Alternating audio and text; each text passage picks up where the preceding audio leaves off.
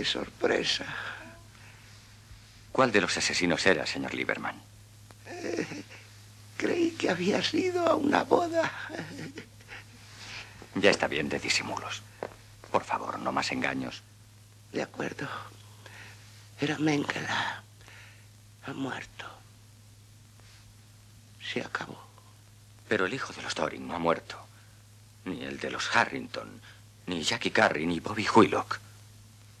Nos costó bastante tiempo y, y trabajo conseguir una entrevista con el doctor Bruckner.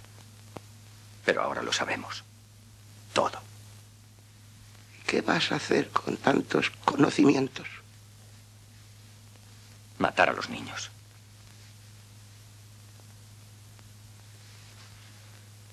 Brillante cerebro el tal Mengele.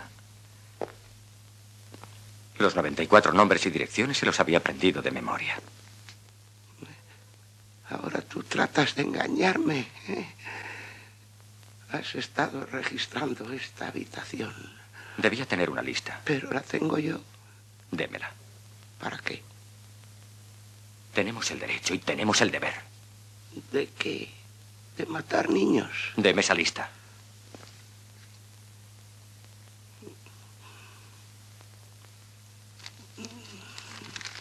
Tendrás que arrebatármela.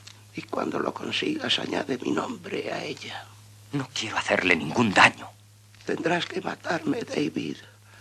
Al primero de esos muchachos que toques, os denuncio a ti y a toda la organización, a la policía. Te juro que lo haré. Va a proteger a Hitler. No, pero no asesinaré inocentes, ni tú tampoco. Podrás ser un fanático, pero un asesino de niños no. Aquí hay una enfermera, un ángel misericordioso, la señorita Hanrahan, y que de vez en cuando me da cigarrillos. ¿Quieres oír lo que me dijo el otro día, señor Lieberman? Si pudo escapar de Buchenwald y ha podido escapar de esas balas, unos cigarrillos no le harán daño.